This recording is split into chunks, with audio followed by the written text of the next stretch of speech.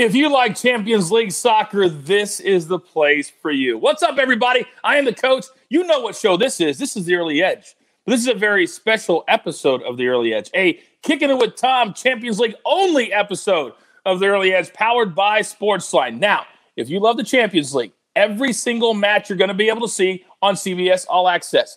But don't fret. March 4th, that's going to be rebranded to Paramount Plus, but it's the same subscription so you don't even need to worry about it. But let's get into the games we're talking about for this week. And you know our man, Tom. Take the bass out of your voice. Fornelli is here.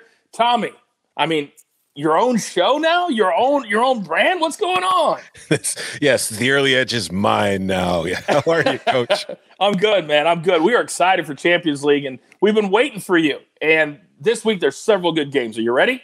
No, I'm ready. Uh, let's do it. And Darth says 10 minutes or less, always here on the early edge. All right, first game on the board Tuesday, 3 p.m. Eastern.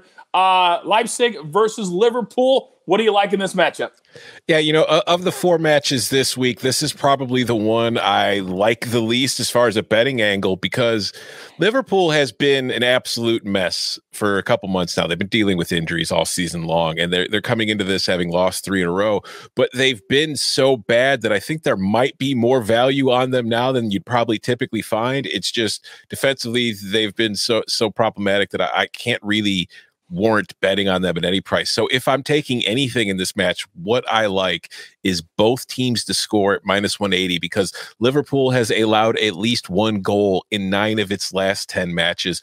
And in attack, they still have Sadio Mane. They still have Mo mm-hmm. Salah. They still have Roberto Firmino. So they're probably going to get a goal of their own. So I like both teams to score. But again, of the four matches this week, this is the one I like the least. So this is more of a lean than a play this. Now, it should be noted that this is being held at a neutral venue due to COVID restrictions. Yes. However, Liverpool will get to host their home meeting against Leipzig. Uh, so keep that in mind because I think that matters at least a little bit in, in how you handicap. All right, second game on the board. Also 2 p.m. or excuse me, Tuesday, 3 p.m. Eastern. You can watch it on CBS Sports Network. Barcelona, PSG. No Neymar, baby. What do you like?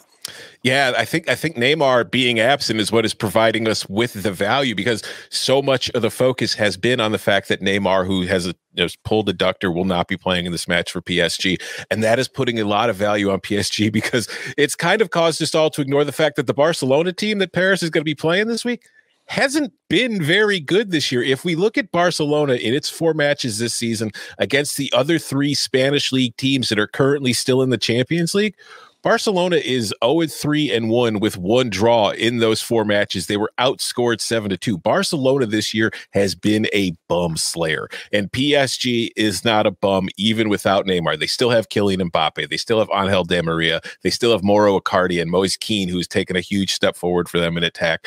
At plus 240, there is a ton of value on PSG in this spot. So I'm going to be all over them. I'm taking them to win straight up. I think that they could do it more than more than we need them to to be make this a profitable play.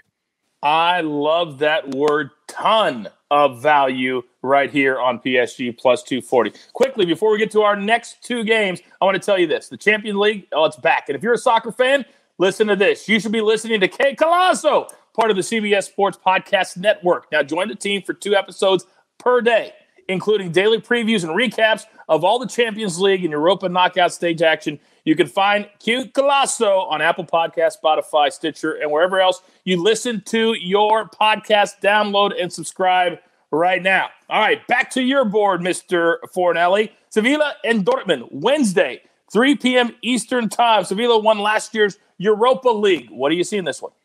Yeah, you know, sometimes when it comes to breaking down matches like this, I'm, I'm, looking at numbers, I'm looking at all this stuff, I'm looking at matchups, I'm looking at injuries. This one's pretty simple. This one is just looking at how these two teams have been playing coming into this match. Sevilla, red hot. They've won nine straight and they've only lost once since the group stage ended from the very first part of Champions League a couple months ago. They've played 19 matches, they've drawn twice They've lost one, and they've straight up won the other 16. And since then, they've added a player in Papu Gomez, who they got from Atalanta in Italy, who is a tremendous player who will only make them better in attack and more dangerous. And they're facing a Dortmund team who not too long ago fired its manager, has had a interim coach in his place who has looked, you know, they, they, they've looked lost under him, to be frank. That like the mm-hmm. team that doesn't really know what it wants to be doing or who it is. And for a team with that much talent, it's strange to see. And they've also hired their new manager, which was announced earlier this week, who will take over after the season's over. So I feel like that's kind of a weird situation to be yeah. If you're a player on the team, like, yeah. what do I care about my coach right now? I already know he's gone in a few months. Who cares what he thinks? So just looking at how these two teams are playing right now, I love Sevilla. I love the value on them here. I think they are the better team. They've been the better team this season, and I think they're going to be the better team this week when they play. Those are great nuggets. All right, our final game on the board. Our fourth game looks like this in the round of 16. Porto against Juventus. Wednesday, 3 p.m. Eastern Time. Juventus to keep a clean sheet plus 129. Uh, but then what do you like in addition to that? Yeah, I love them to keep the clean sheet because they have kept a clean sheet in six of the last eight matches, and defensively they've been terrific. But I think my favorite play in this is just you know let's using our brains here.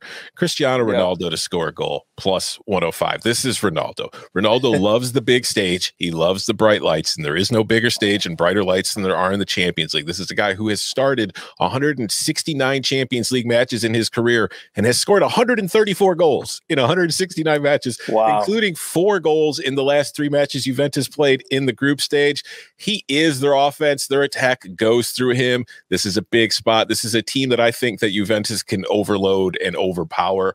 I think Cristiano is going to get at least one goal this week. I love that. And like I said, I also love them to keep the shutout, to keep the clean sheet, because defensively, this team, that's really been the difference between Juventus early in the group stage and the Juventus we're seeing now is defensively, they have figured things out. They've become really solid in that aspect. I love star power, man. I love when you can incorporate star power in your picks too, because that really makes people want to watch the game and enjoy the game. All right, it's that time. Grab your paper, grab your pencil. Let's do a full recap. Here's what Tommy likes. He likes both teams to score in the Leipzig Liverpool match that's coming back at minus 180 in the Barcelona PSG. He said tons of value, plus 240 on PSG. No Neymar, however. Sevilla, Dortmund, Sevilla plus 140. You heard all the reasons. And then Porto, Juventus, two bets here. Juventus to keep a clean sheet. That's coming in at plus 129. And then Ronaldo to score a goal. It's almost automatic in these big uh, spots, plus 105. You got your marching orders. Let's take every single ticket for Mr. Tommy Fornelli straight to the pay window. For Tommy, take the bass out of your voice Fornelli, the jeweler, our producer, and all you wonderful people that are growing the Early Edge brand. Remember, this is the only place for your Champions League. Enjoy the week on CBS All Access. Early Edge. Good luck.